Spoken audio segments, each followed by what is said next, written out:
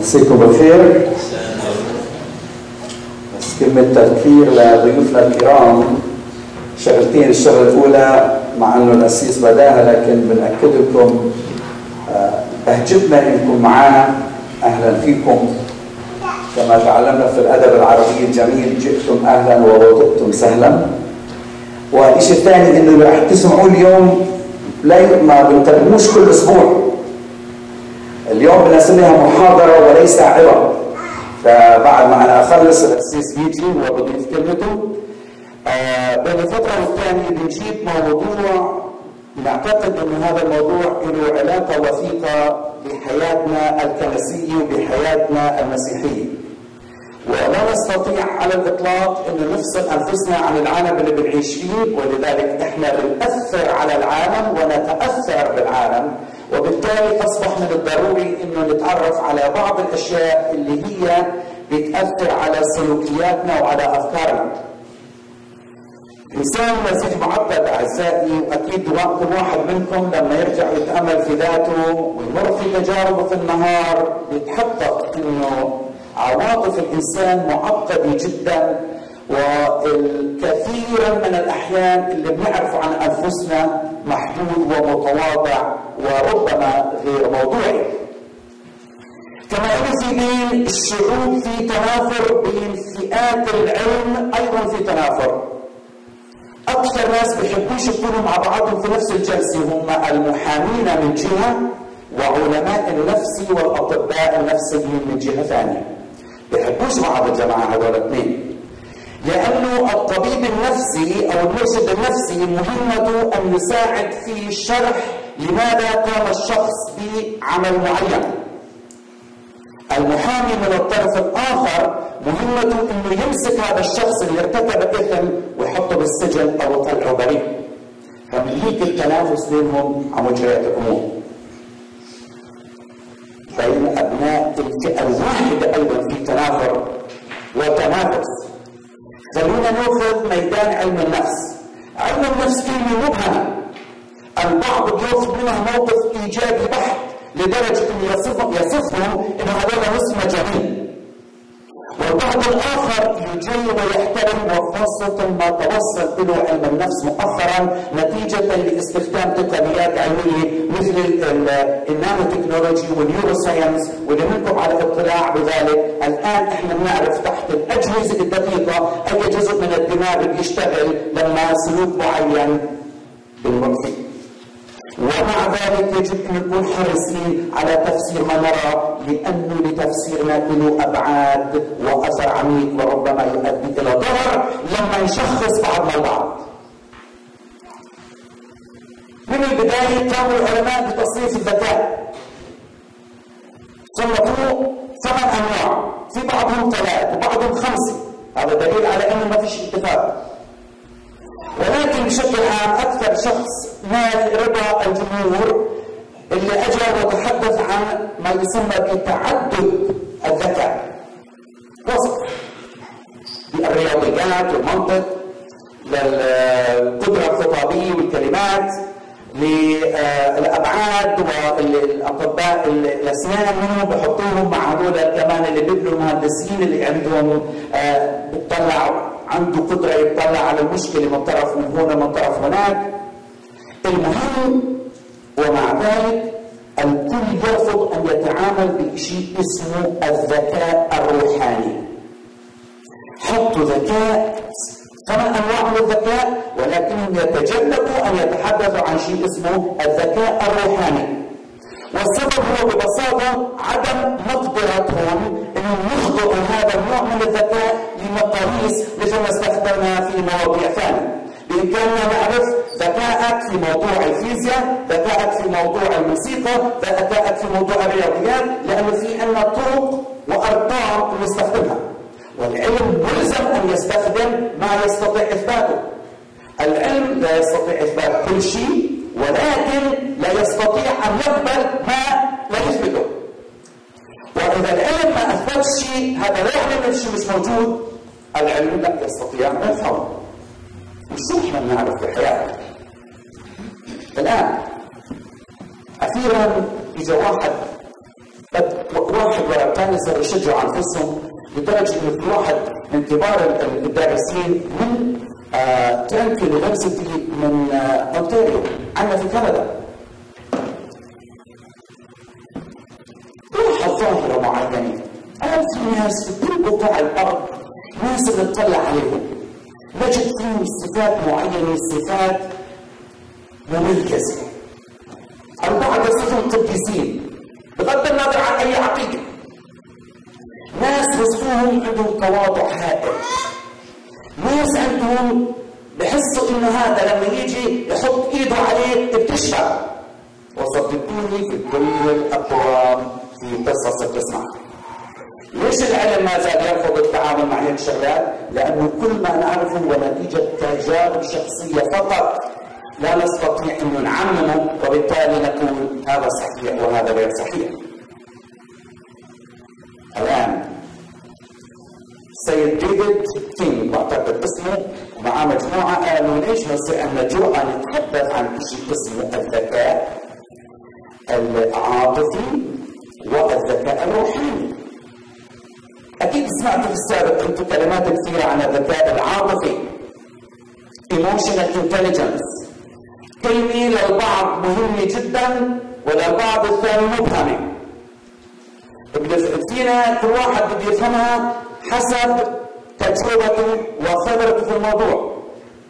ولكن بشكل عام أعزائي هناك خمس آه مكونات لما نسميه بالذكاء الانفعالي. Emotional intelligence. خمسة. وبعدها نحكي عن علاقته مع الذكاء الروحاني وبعدين بيجي الاسيس عماد بكمل من الجانب الآخر. أكيد سمعتوا في السابق بعض المكونات هاي ولكن آه بدنا نحط معلومات تأخذ معنا 14 أسبوع بدنا نحطها في 25 دقيقة. وبالتالي ما هوش عداله للموضوع ولكن بدنا نحاول بقدر الإمكان. الخمس مكونات هي ما يلي. واحد مقدرة الإنسان على التفاعل مع الآخرين. ثانيا مقدرة الإنسان على التفاعل مع نفسه. ثالثا مقدرة الإنسان على التأقلم. رابعا مقدرة الإنسان على التفاعل مع مقلقات الحياة. وخامسا وأخيرا مقدرة الإنسان على التفاعل مع مزاجه. باختصار تفاعل الإنسان يبدأها مع نفسه وهي أصعب الأنواع. تذكر في قديم الزمان لما حكينا أن الإنسان بينمو النمو الأفقي. السنة أنا 60 إذا بدأت أضل طيب السنة 61 62 63 حتى تنتهي ينتهي ظهوري على مسرح الحياة مثل ما بيحكوا.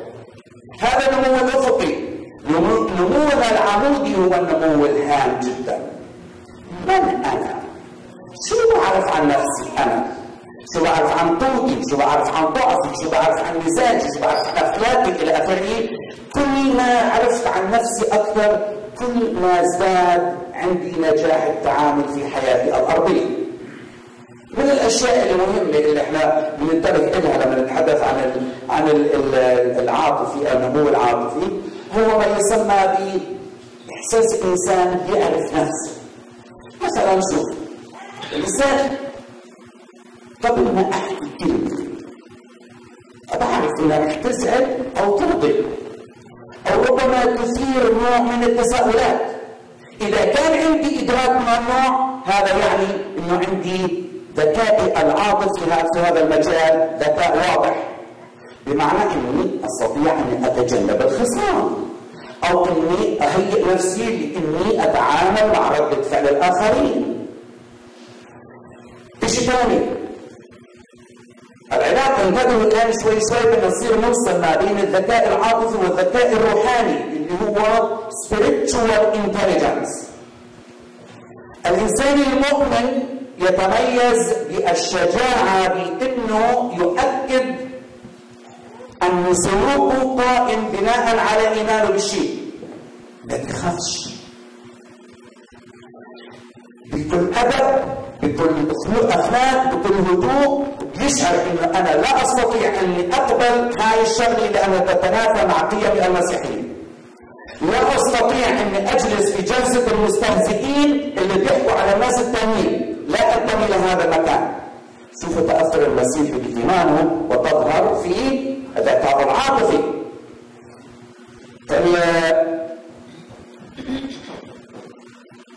اللي عنده ذكاء عاطفي يرفض إنه ما منح به من ذكاء والذكاء جاء من مصدرين الذكاء اللي هو الموروث جيناتكس والذكاء البيئي اللي تعلمناه في مدارسنا وأهالينا وتجاربنا في الحياة اليومية.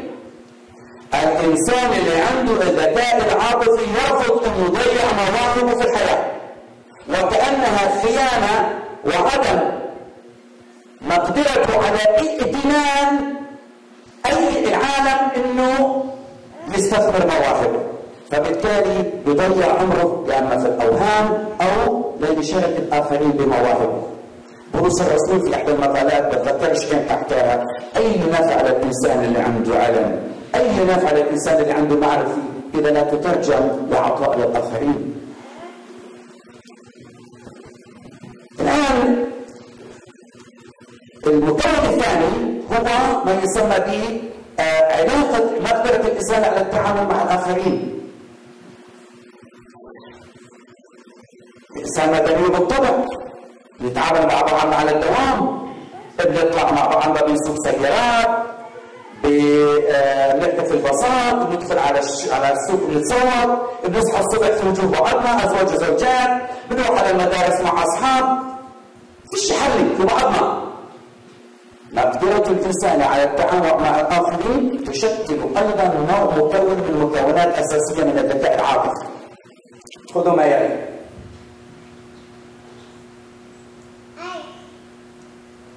في عنده طلاب بيجوا أحيانا بيدخلوا عنده على المكتب وللحالة بينهاروا. صار أكثر من مرة. الطالب بيجي بده يطلب إذن إنه أنا ما بقدرش أقدم الامتحان والسبب إنه أمي تم تشخيصها بسرطان الصدر. أكثر من مرة أحكي للطالب قلت له إذا في في العالم حد راح يفهمك هو أنا يعني بمعنى إنه مش راح أمسك إيده وأصير أبكي معاه لأنه ممنوع نعمله بالجامعة. ولكن ما تبقى راح عقلي بيمشي في رحلة طويلة مع التعامل مع مع سرطان الصدر. وبعرف شو الالام اللي بتمر فيه السيدة بشكل عام والالام اللي بتعيشها الأسرة والالام اللي بيعيشوها الأولاد والبنات خاصة في مقتبل العمر. الذكاء العاطفي ومقدرتك أنك تتعاطف مع الآخرين. وليس إما نتجاهل عواطفهم أو نعلو فوقها ونسخر منها. إحساس الطالب في الحاله هاي إحساس طبيعي.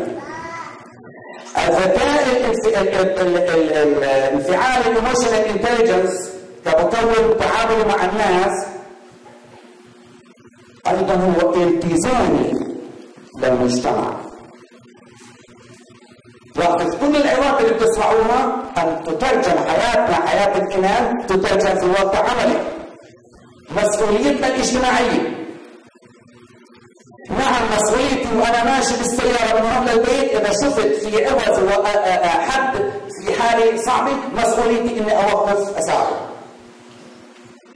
الجرعة المسيحية مش سهلة. المسؤولية إن إذا أنت تكون ماشي بالشارع أو اللي عندنا شباب وصبايا اللي عندهم صحة وعندهم جيران أحوالهم الصحية شوي مضعضعة وفي موسم الشتاء مسؤوليتي أنا العاطف الحالة الحالة هاي مسؤوليتي إني أمسك الشبل وأطلع أشيل الثلج من أمام بيتهم. مسؤوليتي. إذا عندي مقدرة عظمة ما استعملتهاش والشخص اللي أمامي عاجز وأنا مدرك بحاجته إلي معناته أنا لم أوفي بهذا الذكاء العاطفي. ثالثا مقدرة الإنسان على التأقلم. في أعزائي ثلاث عواقب بتعرض حياتنا في اتخاذ القرارات الكويسة في الحياة. الأول أن إحنا بنطلع على سطح الأشياء وبسرعة بنوصل إلى القرار بسرعة. بيشوف شغلة أو شغلتين وبيقول أنا خلاص فهمت. هذا لا يكفي. لا يكفي فهمنا لحلول للمشكلات. يجب أن يكون هناك تفصيلات كافية حتى الإنسان آه، يضمن بقدر الإمكان لا يجني على حدا ولا يتهم حدا ولا يعمل قرار ناقص إلى آخره. لكن في غالبيه الأحيان هيك بنعمل إحنا. ثاني أحيانا بنطلع على إنه في سويت بحث على طلابي هون تعطيهم مثلا مسائل لحلول مشكلات. أعطيتهم عشرة مسائل وأول سبعة منهم نفس الحل بنفس الطريقة.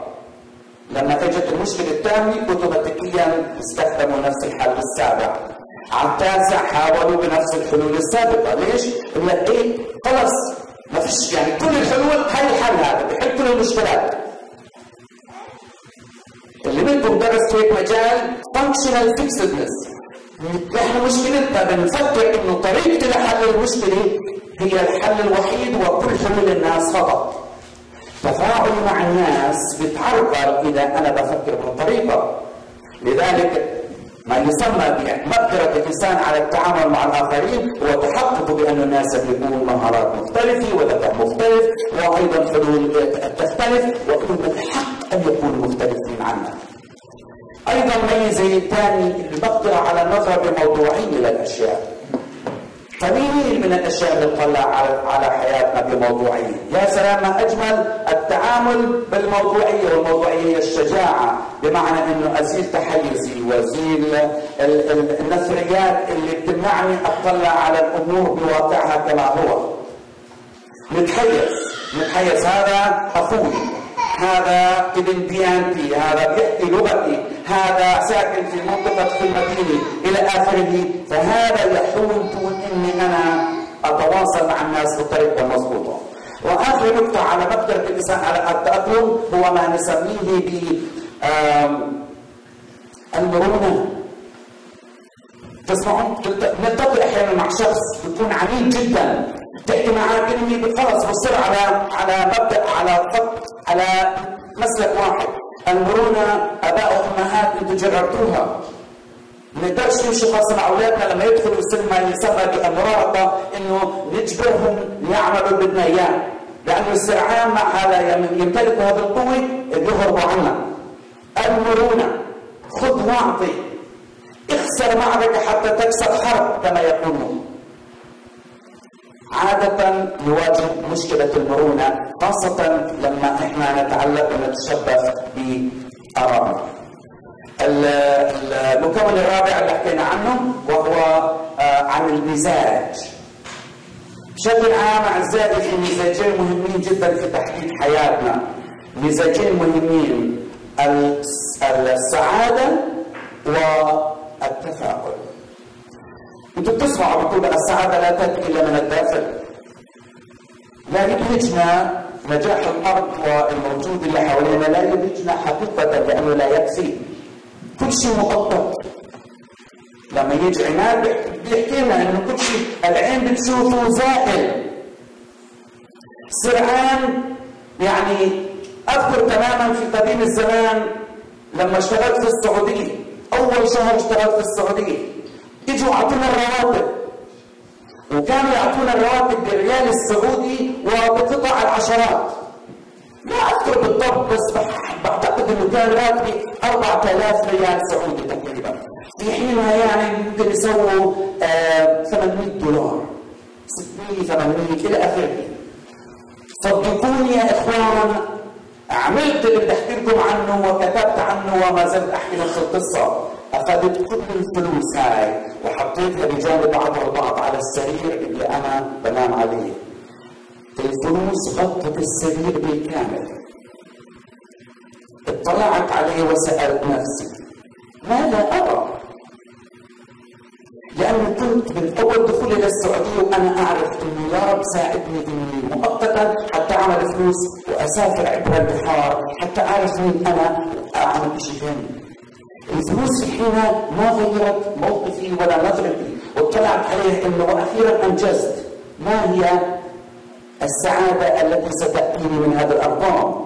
وأنتم بتعرفوا إنه كل ما ازداد عندنا الأرقام كل ما صار عندنا الوهم ومش بالضرورة الفلوس. نطلع على بشكل عام الاملاك بيوت سيارات نفوذ أحيانا الواحد منا بيأخذ مهنته أو منصبه في المجتمع بيأخذه بمفهوم الجد وبيستخدمه للتملك أو للسيطرة أو للكبرياء أو أو بيعتمد عليه بشيء كثير لكم عن سر تحكوش لحد عنه؟ إنه الآن لأني أتعامل مع موضوع ما يسمى بالتقاعد كلمة التقاعد بالنسبة لي مخيفة. لغايه الآن وأنا لا لم اصل إلى مرحلة التصالح. انه إبراهيم سبريتي بطل يدرس جامعة. شو بصير بحياتي بعدها؟ وهذا أكبر سؤال بسال فيه وعلى طول بكتشف إني أحمق. الجامعة فيها الاف الدكتوراه أو الجامعات والعالم راح تمشي بدوني والطلاب راح يتعلموا أحسن من من من من أحسن مني. بأي أساس؟ بحدد نفسي وسعتي وقيمتي في مهنتي اللي منكم عايش في هيك ورطه يحكي معي المقصود بذلك اعزائي إنه ما ناخذهاش على محمل الجد. والموضوع ال optimism اللي هو التفاؤل. في ناس تحكي معاه للحال بسكرها بجد تقول لا يمكن مش راح تصير. لا ما فيش فلوس. ما فيش مقدرة خاصة خاصة آباء يحكوا لأولادهم شو بدك تدرس؟ بدي أدرس أنا ويختاروا مادة من هالمواد الجادة العلمية اللي في إحنا في العالم العربي بهمنا كلمات مبهمة أدرس طب وتأكيد هندسي هالكلمتين اللي معقدين بس كان ما فيش إلا هالميدانين لكن شو؟ بيجي الأب بيقول له أنت بمقدورك تدرس يعني حتى بهالسؤال يستكثر على ابنه أو بنته إنه يكون عندها مؤهلات ان تنجز اكاديميا في مجال التفاؤل. اللي عنده تفاؤل بيقدر يتعامل مع الناس لأنه يرى في إمكانية التصالح بينه وبينهم. ما بيفقدش الرجاء والأمل ولا بصير يحدد إنه بس مقياسي أنا أو يعني حتى في تصالح الأزواج فيما بينهم لما يتناقروا ويتمشكلوا فيما بينهم. ما تفقدش الأمل. يوم يومين ثلاثة المصالحة بتتم لا تيأسش هذا هو المقدرة على التعامل مع الناس الثانيين. مع الجيران. مع رب العمل. اللي بيبدا في محاولة المصالحة اللي عنده تفاؤل في الداخل يرفض إنه السوداوية تسيطر على الأمور. شو علاقة الذكاء الروحاني اللي بنحكي عنه؟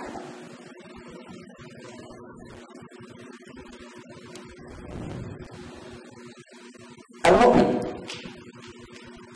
يدرك تماما بما يؤمن به. self awareness المؤمن حقا ما بيهموش الكلمات ما بيهموش تأثير الناس بيهموش رأي الناس شو تتصور ردة فعل. يثق إنه أنا سلوكي نابع عن إيماني بهذا الشيء. يعني مثلا نرجع على المثال اللي حكيت فيه في مجلس المستهزئين مش اجلس آه في إحدى الفلسفات تقول إذا أنت بدك تطلع على سلوك معين وتقيمه إذا كان سلوك اخلاقي أم لا اسأل السؤال التالي. إذا أنت عممته وأصبح خطأ إذا العمل من واحد هو خطأ. يعني بمعنى إذا أنا بدي أدخل اسرق من من من من, من super store أدخل اسرق لوح شوكولاتة مشان أكله في مقياس البعض حدث بسيط لكن تخيلوا لو كل واحد دخل سرق شوكولاتة من store شو بده يصير في المجتمع؟ الذكاء الروحاني وجدوا بأن ناس يصروا على انه مهما واجهوا من تحديات تبقى الأخلاق المؤمن مترجمة في اعماله. شيء ثاني التصرف الحالي وجدوا ما يلي being spontaneous. مثال افرض ان أنا وياك ماشيين مشوار وأنا لابس حذاء كويس وثمين ورحت وقعت في حفرة فيها ماء طين. شوفوا بأنت ببين الذكاء الروحاني إذا بتطلع كلمة سنة عفوا وبتصيح وبتشتم بينت. الإنسان اللي عنده ذكاء روحاني في كافه الظروف سلوكه ما بتغيرش. داخله بيظهر على طول الحال. بصيرش طلع بحكي إنه مين اللي حوالي حتى أختار الكلمات اللي بدي اياها لا. أنت تظهر كما أنت.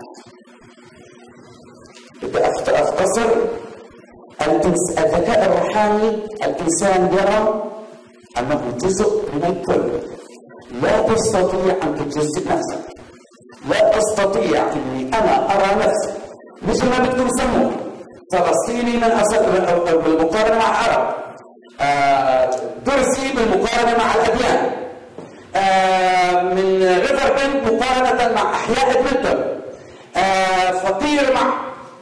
إذا أنت نظرت على نفسك انك جزء فقط وبتصير تلف حول نفسك. أنا جزء من الكل. الإنسان اللي عنده الذكاء الروحاني هو جزء من الأسرة الإنسانية التي يراها بأنها الله هو الوحيد المسؤول والقادر على العناية بها. الذكاء الروحاني يتمثل بالرحمة العظيمة بدون شروط. الإنسان الرحيم ما حدش منا بيروح على دكان وبيقول أعطيني خمسة كيلو جرام من الرحمة أشتريهم. الإنسان الرحيم يمتاز بهذا العطاء السخي من الإله المعطي. وأخيرا أعزائي أخيرا آه كلمتين. الإنسان اللي وجدوه اللي عنده روحانيات العالم إنسان متواضع جدا. ما بيستطيع يعني متواضع ويتعامل مع إيمان روحي مباشرة. إذا بده يعطي بيطلعش من جيبته بيطلع على الناس يا عالم شوفوا شو بدي أعطي. أو لا يتباهى لا يتفاخر. شوفوا الكتاب المقدس يحكي عن المحبة. الإنسان اللي عنده الذكاء الروحاني هو القادر ليس القادر هو اللي اعطي مثل في عاطفة. عاطفة حاد جدا عاطفة المحبة وعاطفة التواضع وعاطفة الرحمة إلى آخره. وآخر كلمة اللي هي حبيبة آخر كلمة وجدوا بأنه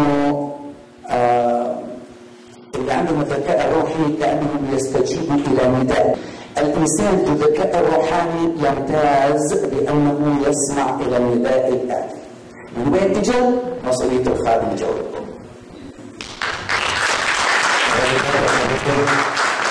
نشكر الله عليك جدا نشكر على المعلومات القيمه جدا كان بيكلمنا عن الذكاء الروحي والذكاء العاطفي. لكن مهم جدا احبائي نعرف حاجة إن الإنسان كيف يعرف نفسه؟ إزاي الإنسان يعرف نفسه؟ يعني أنا عايز أبقى كويس عايز أبقى ليا علاقتي كويسة مع الآخرين. عايز يبقى آه الناس تشوف فيا صورة حلوة. بس إزاي أعرف؟ هل الإنسان بيعرف نفسه؟ مين يعرف الإجابة على هذا السؤال؟ هل الإنسان بيعرف نفسه؟ كويس؟ أيوه. الإنسان على فكرة احبائي بيتكلم عنه الكتاب المقدس في ارميا اصحاح 17 عدد 9 بيقول القلب اخدع من كل شيء وهو نجيس. من يعرفه؟ الإنسان أحيانا بيعتقد إنه كويس جدا وإن تأثيره على الناس كويس جدا لكن في الحقيقة هو ما عارف نفسه. بيقول أنا الرب فاحص القلب مختبر الكلى. لأعطي كل واحد حسب طرقه حسب ثمر أعماله. أرمية 17 على 9 يعني إزاي الكلام ده؟ الإنسان في الحقيقة هو ما بيقدرش يعرف نفسه بالكامل. يعني أحيانا بيفاجئ مثلا إن تفاجئ أنت في البيت إن مثلا مراتك زعلانة. له عملت إيه عشان تزعلها؟ يعني أنا حاسس إن أنا ما عملتش حاجة. فتقول أنت عملت كذا وكذا وكذا وده جرحني. أنا ما كنتش عارف ان ده بيجرح. احبائي أحيانا فعلا كتير قوي إن الواحد ما بيعرفش إنه بيجرح ما بيعرفش إنه ماشي في طريق غلط لأن الإنسان محتاج لقيادة من الرب. القلب أخدع من كل شيء وهو نجيس من يعرفه. القلب ممكن يخدع الإنسان. كتير جدا من الناس بيعتقدوا إن هم فعلا في حالة خاصة إن هم المفروض الناس كلها تشوفهم دول كده يعني ناس مميزين. لكن في الحقيقة هم كانوا بيعملوا أذى من غير ما يعرفوا. آه الذكاء العاطفي إزاي نتفاعل مع الآخرين وكده؟ إحنا بنعلمنا كلمة الله إن بيقول كده في عبرانيين إصحاح أربعة لأن كلمة الله حية وفعالة وأمضى من كل سيف ذي حدين وخارقة إلى مفرق النفس والروح والمفاصل والمخاخ ومميزة أفكار القلب ونياته. اللي هيوضح لي نفسي فعلا وهيعلمني أنا وحش ولا كويس ولا إيه آه تأثيري على الآخرين أو علاقتي بربنا عاملة إزاي هي كلمة الله. ربنا هو اللي بيكشف للإنسان عشان كده أحبائي أصعب حاجة إن الإنسان يتغير. الإنسان علشان يتغير دي صعب جدا جدا. وأنا شفت في حياتي كتير جدا حاولوا إن هم يتغيروا. لكن زي ما بيقول الأخ إبراهيم الذكاء الروحي ده بيكون حاجة مش أنا مكتسبها حاجة ربنا مديهاني الإنسان علشان يتغير عايز قوة أعظم اللي هو فيه. كتير جدا ناس الناس عايزين يتغيروا. يعني واحد بيقول إن أنا شخص حساس جدا. أي حد يقول لي كلمة بيجرحني وأحس بجرح وأفضل طول النهار إن أنا أفتكر هذه الكلمة. مش عارف اعمل نفسي إيه؟ أنا حاسس إن أنا حساس باستمرار شعور بالجرح. طب أعمل إيه؟ تكلمه تقول له ما يهمكش الناس خلي عندك آه يعني آه مسامحة. يمكن الناس ما تقصدش. هيتصلح لمدة 3 4 ساعات وبعد كده يجي لنفسه واحد يقول له كلمة يحس إنه هيتجنن. طب الإنسان يعمل إيه؟ الإنسان محتاج له قوه أعظم من اللي هو فيه عشان يتغير، دي القوة الروحية اللي كان بيتكلم عنها الأخ إبراهيم اللي هو الإحساس الروحي. تعرفوا إيه اللي حصل مع بني إسرائيل زمان؟ بيوصفهم الرب إن هم الشعب صلب الرقبة. كان ربنا بيكلمهم لكن مش بيقبلوا كلامه تعرفوا إن الناس ديت ما كان ما كانوش يعرفوا إن هم صلبين الرقبة؟ ما كانوش يعرفوا إن هم مقاسيين قلبهم على الرب؟ لكن بالعكس تفتكروا كانوا يعتقدوا إيه؟ عشان كده الرب كان بيصححها لهم. كانوا بيعتقدوا إن هم أعظم الشعوب عشان كده الرب اختارهم. فعشان كده مرة بيقول لهم أنا ما اخترتكمش عشان أنتوا أعظم الشعوب لأن كنتوا مش أعظم الشعوب أنتوا اصغر الشعوب. لكن اخترتكم عشان نفسي. عشان الرسالة لناس آخرين فهم نفسهم ما كانوش يعرفوا لما كانت تحصل مشكلة كانوا يتذمروا على الرب جدا ليه يا رب بتعمل كده؟ أنا ما فيهاش مشكلة إزاي المشكلة منين؟ من ربنا بقى ما هو المشكلة مش فيا المشكلة إيه؟ في هو فالإنسان أحبائي أحيانا ما يعرفش إن هو في داخله خطية وفي داخله إثم وحتى لما دخلت الخطية الإنسان لوثت كل شيء. خلت حتى المشاعر الطبيعية بتاعت الإنسان تتغير. لدرجة إن حتى أحيانا بيكون الأب قاسي على عياله والأم قاسية مع مع أولادها. بيحصل فعلا قساوة الإنسان بيتغير وحتى مشاعره تتغير بسبب تأثير الخطية طب أنا الحل بتاعي إيه؟ أنا عايز قوة أعظم من القوة الإنسانية مين هذه القوة أحبائي؟ قوة الرب المسيح هو مين؟ كلمة الله أنا لما أقرأ في الكتاب المقدس لما تقرأ في العهد الجديد أنت ما بتقراش قصص قصة حياة إنسان مبارك أنت بتقرأ عشان تشوف كلمة الله. أنت بتشوف المسيح اللي هو عبر عن الله اللي هو إحنا ليه بنقول المسيح واحد في الرب لأن هو كلمة الله. والله ما كانش في وقت معين ما عندوش كلمة. ما عندوش فكر. فدائما المسيح هو في الرب واحد أو في الله واحد لأن المسيح كلمة الله. أنا لما بقرأ الكتاب المقدس وبشوف المسيح بيتعامل إزاي مع الناس والمسيح إزاي قلبه مع الناس وإزاي تعليمه؟ أنا في الحقيقة بقرأ كلمة الله. كلمة الله بتكشف لي اللي جوايا. عشان كده بيقول خارقة إلى مفرق النفس والروح. طب إيه حكاية النفس والروح؟ في اليوناني سيكا يعني زي جاي من سيكولوجي أو نيما يعني جاي من الروح. دي حاجة الروح دي تميزها ربنا للإنسان. السيكا ديت مع حتى ممكن مع الحيوانات مع أي حاجة تانية. كلمة الله بتدخل وتقول لك ده مني. أو ده مش مني. بتعلمني بتميزني بت- بتكشفني. عشان كده احبائي لما أنا أصلي وأقرأ الكتاب المقدس ويكون لي تعامل مع الرب هقدر أعرف نفسي وهقدر أتغير. لكن طول ما أنا بعيد عن الرب أنا فعلا هعيش في جهل واعيش في خداع وألاقي نفسي مشكلة بعد مشكلة بتحصل لي وأنا مش عارف إيه اللي بيجرى لي أنا متهيألي إن أنا مش بعمل حاجة غلط اطلاقا متهيألي بعمل كل حاجة صح. لكن في الحقيقة في حاجات كثيره جدا من المشاكل اللي إحنا بنمر فيها سببها هو مين؟ هو إحنا. إحنا السبب. وزي نجد مشاكل من اللي إحنا بنقا- بنقابلها في بيوتنا وأشغالنا وإحنا بنعتقد إن إحنا يعني ما فيناش ولا حاجة كويسه ولا حاجة وحشة لدرجه إن دايما يقول لك الناس لما تحكي يقول لك إيه الناس الأيام ديت بقت إيه؟ بقت وحشة. كل واحد بيقول الناس الأيام ديت إيه؟ بقت وحشة، طب هو فين الناس دول؟ أو في حاجة اسمها في قسم معين كده حاطينه معين اسمه الناس، طب أنا من الناس وأنت من الناس. مش كده ولا إيه؟ كلنا الناس وكل واحد متهيأله من العيب في الإيه؟ في الآخرين في الناس التانية لكن كلمة الله بتعلمني وبتقول لي ده في قوة ربنا يقدر يديها لك. أحد الناس كان بيتكلم معايا إنسان تقي جدا مؤمن وبيحب رب من كل قلبه وجاي يقول لي أهلي بيحبوني بطريقة شديدة جدا.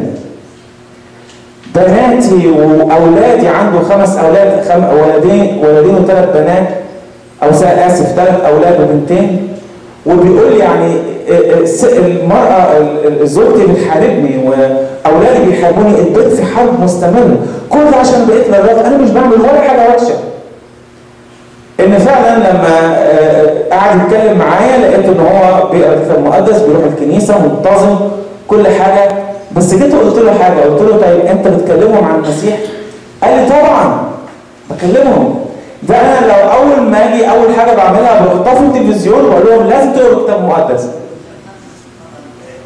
وبعدين بحس إن أنا أنا بكلمهم لو سمعت كلمة من حد مش عجباني ما بستناش على كل كلمة. هو هذا الإنسان معتقد إن المشكلة في اللي حواليه لكن في الحقيقة هو اللي منفرهم من كلمة الله. هو هو مهم إن أنا أوصل رسالة المسيح لكن المسيح كان بيعمل إيه؟ كان بيروح وبيجلس مع العشارين والخطاة الناس اللي ما يستاهلوش ابدا أي رحمة أو أي محبة يفضل يكلمهم عن المحبة الإلهية. تعرف أنت لو واحد كده عيل صغير هاته ومعاه لقمة ناشفة؟ هو جعان ومعاه لقمة ناشفة. تقول له يا ابني اللقمة دي أنت واخدها من الأرض دي لقمة مش كويسة. سيبها. هيمسك فيها لأنه جعان. لكن ده لو قلت له كده وجبه جميلة جدا جدا جاية من بعيد هو من غير ما تقول له حاجة يروح رامي اللقمة ديت وإيه؟ جاي على الوجبة الجميلة دي صح ولا لأ؟ في ناس إنها من كتر ما بتكلم الناس عن المسيح لكن ما خدتش محبة المسيح ممكن تخلي الناس تهرب من المسيح صح ولا لأ؟ لكن هل هم عارفين نفسهم؟ ما هو شعب الكلام ده بيتكلم في عبرانيين عن كلمة الله حية وفعالة بيتكلم عن القساوة التي كانت في شعب الله. كان شعب الله عنده قساوة. ولذلك بيقول كلمة الله حية وفعالة لابد إن كان هذه القساوة تدوب عن طريق كلمة الله لكن هم لم يسمحوا بكلمة الله. قسوا قلوبهم. قالوا إحنا مش محتاجين للكلام ده. إحنا محتاجين نعيش كويس ونعيش زي أحسن ما كنا من مصر. إحنا طلعنا من أرض مصر ليه؟ عشان نعيش عيشة الغرب دي. إحنا أي حاجة تقول لنا غير إن إحنا هنعيش عيشة كويسة مش بنقبلها الرب بيقول نقوا اعزلوا الخبيث من وسطكم. نقوا الشعب. اعملوا في آه، بطلوا الخطيه اعملوا هذه الأشياء. مش بيسمعوا هذا الكلام. هم عايزين يسمعوا حاجات. تعالوا أنتم شعب الله المختار. هديكم الأرض التي تفيض لبنا وعسلا غير كده مش عايزين يسمعوا. قصوا قلوبهم عزيزي أنا عايزك النهارده تاخد قرار مع الرب. إذا أنت سمعت معلومات جميلة جدا النهارده الأخ إبراهيم الرب يبارك وحطها بطريقة مع انها معلومات معقدة دي طبعا ضرعت المدرس لكن حطها بطريقة بسيطة لكلنا نفهمها إحنا عندنا عواطف وعندنا روحانيات. الرب ادانا حاجات جميلة جدا. لكن ما لم يغيرنا الرب؟ وما لم يدخل روح الله الله عشان تغير كل واحد فينا مفيش حد هيعرف إيه المشكلة. عشان كده بقول إن إحنا نقرأ الكتاب المقدس. وخاصة العهد الجديد نبدأ فيه. نبدأ بالوراثة. أنا عايز أشوف المسيح هو كان بيقول إيه؟ كان بيعمل إيه؟ كان بيتحرك إزاي؟ وأنا أقرأ الكتاب المقدس هلاقي إن في تفاعل بيني وبين المسيح. أول ما تعرفه هتحس إن الشخص ده مش شخص طبيعي ده شخص كأنك أنت بتتكلم معاه دلوقتي. ده اللي هيجيلك على طول. أول ما تقرأ الكتاب المقدس بإخلاص هلاقي كده.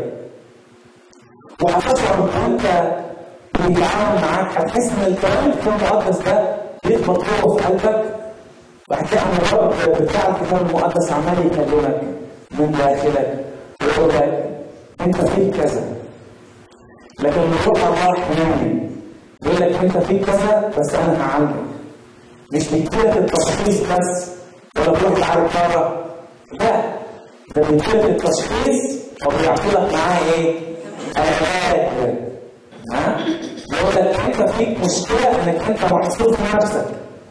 أنت في مشكلة إن في حاجة غلط في حياتك. أنت في مشكلة إنك مستعبد من شهواتك، لكن أنا أقدر اديلك قوه. استسلم لي. اطلب قوه روح الله. هتلاقي قوه الله روح الله تعمل بطريقة غير عادية في حياتك.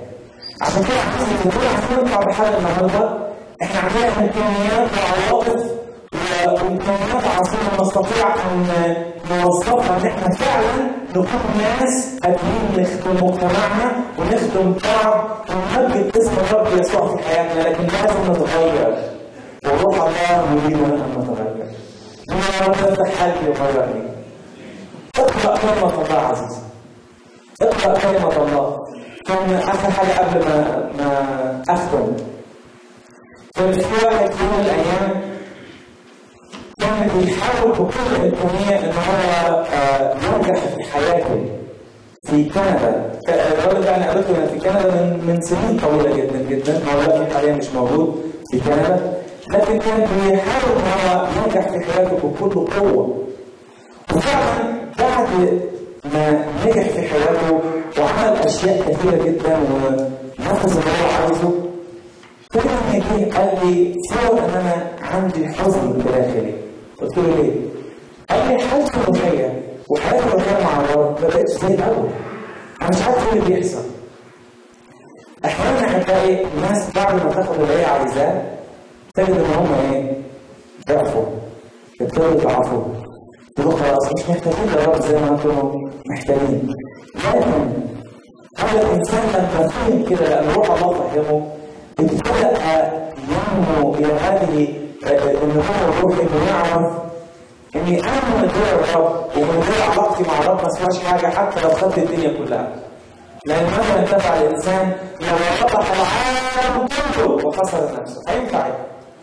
إذا كنت أنا نفسي مش سعيد من جوه فالروح السعاده فعلا والفرح الحقيقي هو الله. والرب السلام هو سلام الله الذي يفوق العقل. كل حاجة لكن هو إيه؟ فاضي الأول لما كان محتاج إن الرب يقول ويوكل عيلته ويديله النجاح كان محتاج رب تواصل كله من الرب عشان كده الرب كان بيشتغل في حياته كان فرحان لكن بعد كده ابتدت الصلاة تقل المشغولية تزيد حاسس إنه تعبان عزيزي الله يريد أن يفرحنا الله يريد أن ينصرنا الله يريد أن يعمل في حياتنا بقوة لكن لابد يكون الرب يغيرنا كل الرب النهارده عايزك تغيرني افتح قلبك وخد قرار كده تقدر تطلب تغير الدنيا وتقعد مع الرب كل يوم لأن القعدة مع الرب هي كل اللي هتقعدك في الأبدية صدقني كل حاجة هنا هتفنى لكن اللي هتقعدك في الأبدية مش ربنا هيديلك عليها جزاء. لا القعدة دي كل بتهيأ لك. بتهيئك وبتجهزك للحياة الأبدية لأن الوجود تواصل مع الرب يا حبيبي. إحنا هنعيش في مأساة.